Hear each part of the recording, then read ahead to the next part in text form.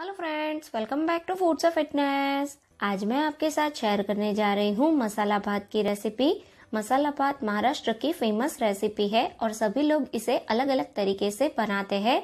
यहाँ पे आज हम मसाला भात को कुकर में बनाएँगे और बहुत ही ज़्यादा टेस्टी बनेंगे।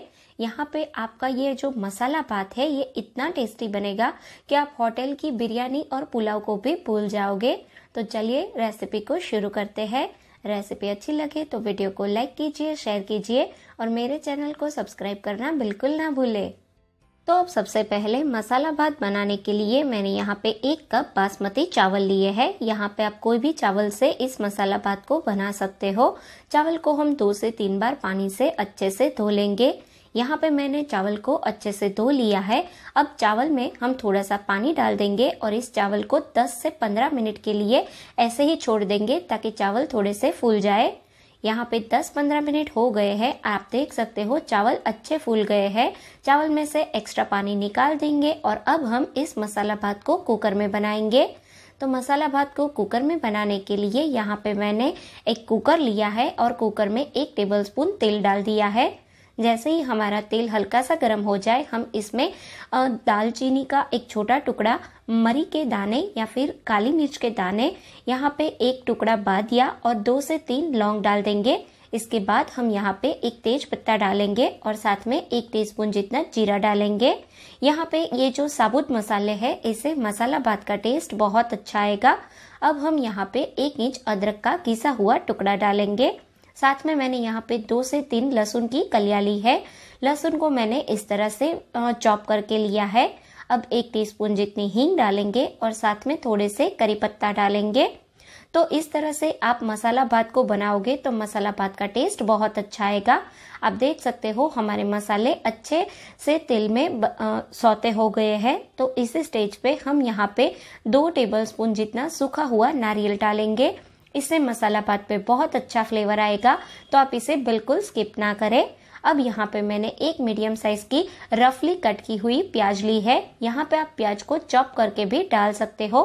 प्याज को मसाले के साथ अच्छे से मिक्स कर लेंगे और हल्का सा प्याज का कलर चेंज हो जाए, उसके बाद हम इसमें वेजिटेबल्स डालेंगे।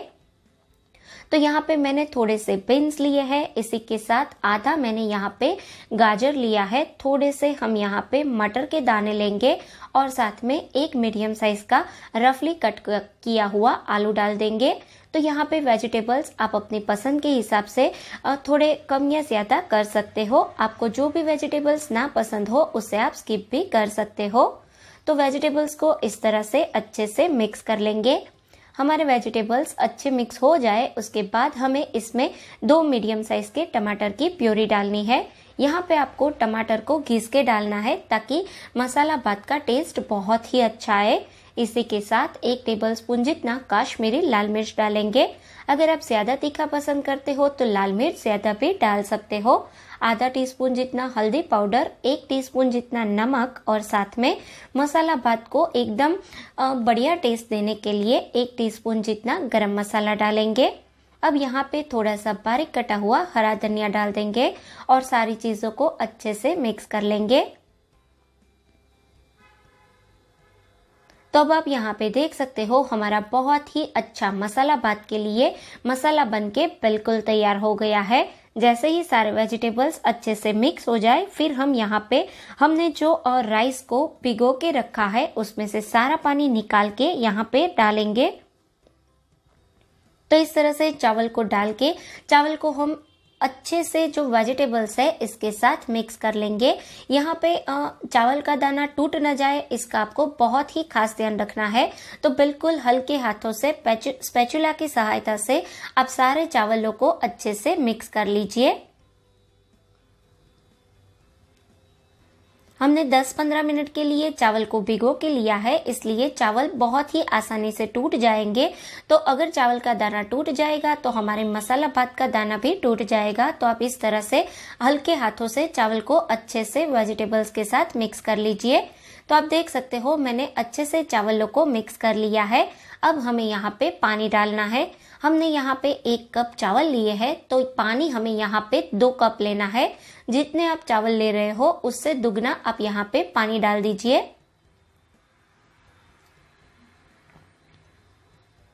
अगर आपको खिला खिला चावल पसंद है तो आप यहाँ पे जितना चावल ले रहे हो, उससे दुगना पानी डालिए। अगर आपको थोड़े से सॉफ्ट चावल चाहिए तो आप यहाँ पे थोड़ा ज़्यादा पानी भी डाल सकते हो।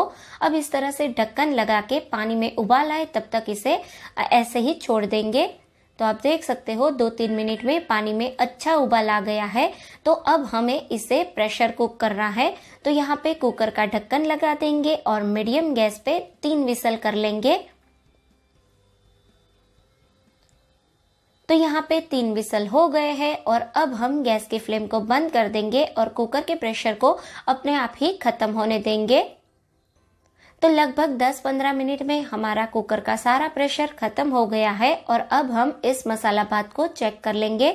तो यहाँ पे मैंने कुकर को खोल दिया है और आप देख सकते हो, बहुत ही अच्छा हमारा मसाला भात बनके तैयार हुआ है।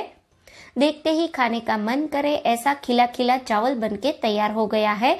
तो अब हम इस मसाला भात को हल्के हाथों से मिला देंगे और गर्मा गर्म इसे सर्व करेंगे।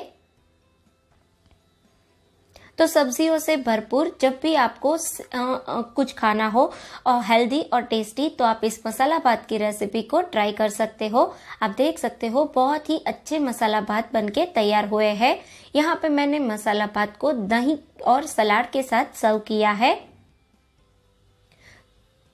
तो आप इस मसाला भात की रेसिपी को ज़रूर ट्राई करें और आपके एक्सपीरियंस मुझे कमेंट बॉक्स में ज़रूर बताइए। रेसिपी अच्छी लगी है तो वीडियो को लाइक कीजिए शेयर कीजिए और चैनल को सब्सक्राइब करना बिल्कुल ना भूलें। फिर मिलेंगे एक नई रेसिपी के साथ। तब तक के लिए थैंक्स फॉर वॉचिंग